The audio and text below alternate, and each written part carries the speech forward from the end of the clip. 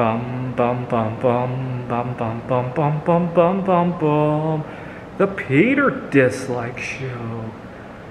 Bum bum bum bum bum bum bum. Well, my first um, art show here at Phoenix College uh, for the holidays. Uh, I got a lot more than this stuff, obviously, but uh, my first time around, I'll get to see uh, how this stuff does. Three different metals I have. Uh, this is my uh, now famous zinc Buddha. Very easy to pour, very easy for me to get zinc to pour, and so I have um, close to 800 of them if I, at last count, if I remember correctly. I gave away a bunch of them at the uh, a party, um, Christmas party earlier in the weekend. Uh, this one is the uh, recycled uh, bismuth tin shot. Much more durable than pure bismuth. The, the, only downside is that you can't anodize it, right? Um, I would so much love to find out a way to uh, make uh, to anodize. This is 94% bismuth and 6% tin, but it pours a lot more accurately, right? Because it it has a much uh, lower uh, freezing point, but at the same time doesn't anodize, right? This is my now famous uh, 5 inch Buddha made of pure bismuth, and obviously you can anodize it.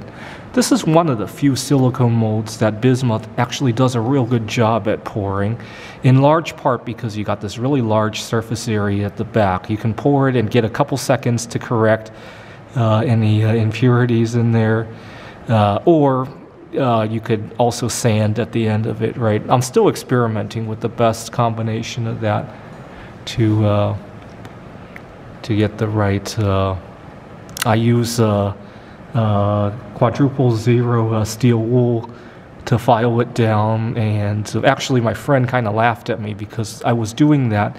And I collected all the filings to recycle into my next batch of bismuth. And she thought, gee, how much is bismuth worth? She thought I was working with some kind of precious metal. And I told her, well, no, but it's rare. So, and uh, I treat it like it's a precious metal. This one doesn't pour nearly as well because of the small uh, surface area of the opening. A lot of times it bulges out and then it doesn't stand correctly. It takes a lot of uh, work to then file it down. And then at the extreme level, this one doesn't even stand at all. But it's uh, still a good pour. You can still anodize it and depending on the voltage of the anodization, you got several different combinations of colors. Uh, unfortunately, uh, this mold isn't exactly very durable, and I haven't been able to find another one.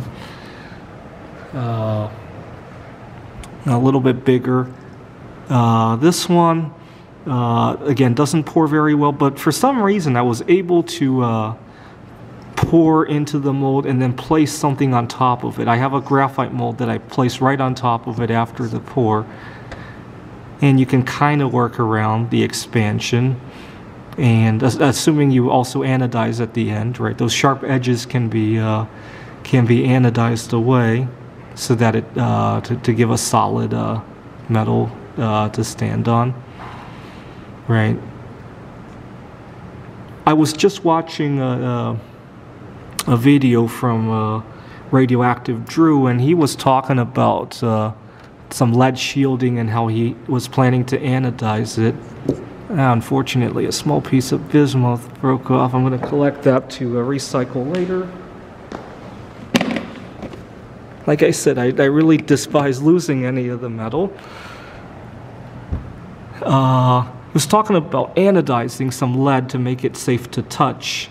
And um, I'm gonna have to look into that because uh, lead does pour some, especially this guy, really well. Unfortunately, it's not exactly safe to touch after you do that, right?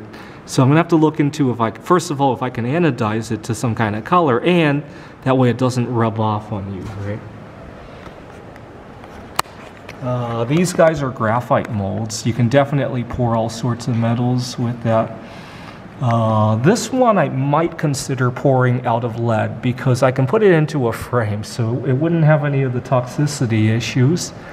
Uh, you can do all sorts of metals with that. Um, I would imagine you could also pour copper and silver with it, although it's a lot more damaging to the graphite mold because of the higher temperatures, obviously.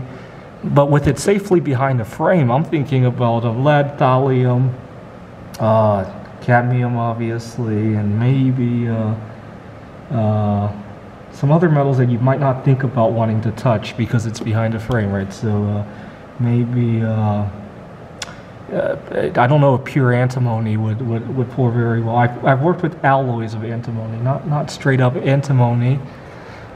This one is my most proudest pour. I really don't want to sell it unless I can get some good money for it.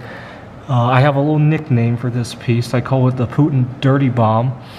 And the reason for that is that bismuth can be used to make polonium 210, which the Russians love for executions. Um, and what I'm thinking is that anybody here who's a chemist, if you can correct me, um, if we could launch a geode like that into outer space and then have some kind of a device that can concentrate neutrons so that the neutrons can be absorbed into the crystal and it would activate into polonium. In my mind, I tend to think of it as as it's being activated, it starts glowing. Feel free to leave a comment if I'm mistaken about that. And we can launch something like that into outer space, collect all the neutrons to activate this into polonium, and have it blow up just atop the Kremlin. Uh, so that's why I, I, I, gave this piece a little bit of a nickname, the Putin Dirty Bomb, because it turned out so well that it would just it, it would just go down in history, right, uh, as something that uh, we used to execute Putin.